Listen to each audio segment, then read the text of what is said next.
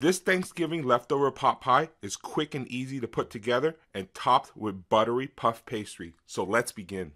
Peel your carrots and cut them oblique. Simply rotate and run your knife through at an angle. Dice some celery and onion. Add vegetables to a pan on medium-high heat and cook them until soft and tender. Shred your leftover turkey and fold in with the vegetables.